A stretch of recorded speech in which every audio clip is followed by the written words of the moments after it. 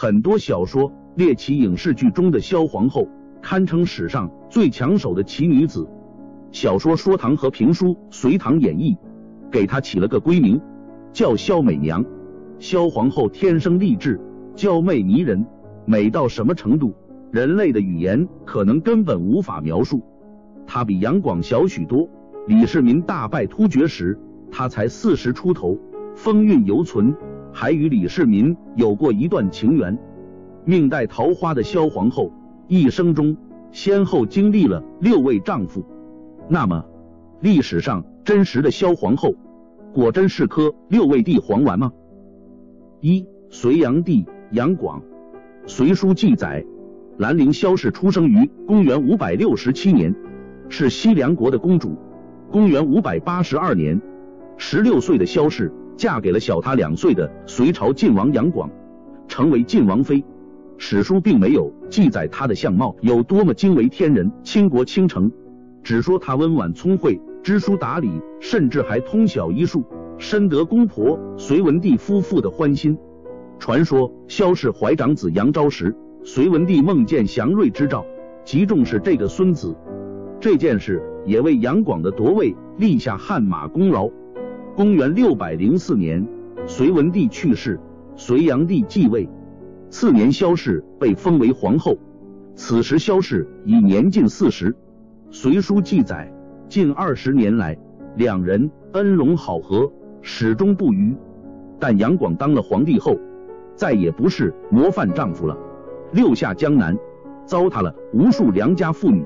萧皇后对隋炀帝的瞎折腾进行多次讽谏，却始终拉不回这匹野马，还写下了《数致赋》，进行婉转的劝诫，也算是曲线救国了。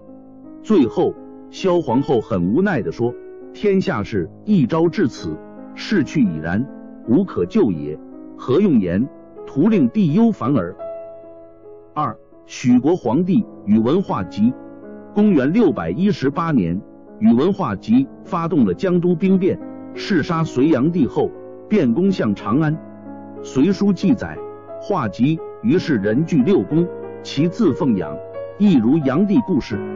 有些人便认为宇文化及霸占了后宫，肯定要去找萧皇后占点便宜。其实细想一下，明显脑洞过大。从辈分上来说，宇文化及的弟弟是萧皇后的女婿。宇文化及西晋之时，立了隋炀帝的孙子杨浩为帝，自封为大丞相。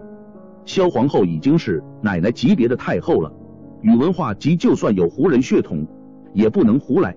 年龄上来说，宇文化及篡位自称许国皇帝时，也就三十来岁，而这个时候的萧皇后已经是五十二岁的徐娘了。宇文化及好歹也当了皇帝，坐拥有后宫佳丽，又不是没得挑，跟自己亲弟弟的丈母娘上床，是不是太奇葩了点？宇文化及这种乱臣贼子，要是真干出染指皇后。这种坏礼教、丧人伦的恶行，史官早就把他骂穿了，必然要大书特书。但是正史中，无论是北史、隋书、新旧唐书，还是资治通鉴，都找不到蛛丝马迹的记载。三夏王窦建德，宇文化及之后被李密击败，残部又被窦建德一顿乱揍。窦建德斩首宇文兄弟后，公开为杨广发丧。政治姿态极为正确，还收降了宇文化及挟制的大批随官。窦建德虽然干的是造反的事业，但在人品上却是个谦谦君子。史书记载，窦建德性约素，喜侠节，就是不好女色，简直是一代大侠。大破宇文化及之后，俘获的隋朝宫女上千，都西放去。各听所知，见到萧皇后。也是先夜萧皇后与称臣，几乎要把他供起来拜了。此举也源自窦建德的忠君思想，从他给隋炀帝哭丧时的真情流露，就能看出他对于礼教纲伦之礼极为看重。作为隋末起义群雄中少有的正人君子，窦建德对萧皇后应该更多的是敬畏之心。更何况窦建德在家中。还养了一只母老虎。他的老婆曹氏也是一个极厉害人物，知大义有胆识，但妒忌心极强，所以更不可能让窦建德去勾搭一个奶奶级的美女。后来远嫁突厥的义成公主来迎萧皇后，窦建德也是礼遇有加，派了上千人护送，并献上语文化及首级，向突厥示好。四突厥的两代可汗，早年义成公主下嫁给突厥的处罗可汗，成为突厥的可贺敦。萧皇后与这位小姑子的感情甚好。义成公主在听说萧皇后落难之时，颠沛流离之际，迎接她进入突厥。萧皇后到了突厥，楚罗可汗在定襄扶持了傀儡后隋政权，封隋炀帝的孙子杨正道为隋王，管理流落到定襄的隋民百姓。